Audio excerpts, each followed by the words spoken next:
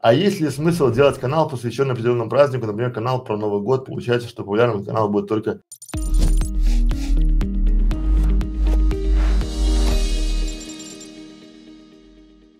Да, конечно, есть смысл.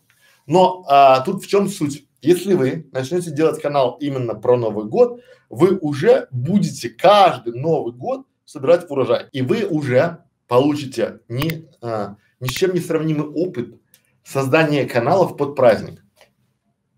Понятно? То есть можно сделать канал, это как сайты, одинаково. Можно, то есть есть сайты, где все праздники, все про все, а, и тяжело. А если вы сделаете канал, допустим, посвященный Дню всех влюбленных, то тоже будет хорошо. Он у вас, но там надо будет, чтобы собрать всю полезную информацию. И вы будете, то есть при прочих равных YouTube, скорее всего, возможно, отдаст вам первенство, потому что у вас канал только про а, 14 февраля, про День всех влюбленных или про Новый год. Да? А если вы потом перейдете на разные языки, то опять будет хорошо.